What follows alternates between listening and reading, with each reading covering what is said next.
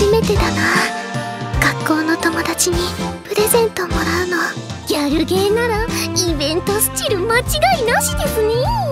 60年後に吠えづらかくなよ。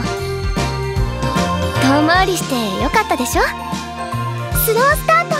2018年1月より放送スタートです。幸せはゆっくり始まる。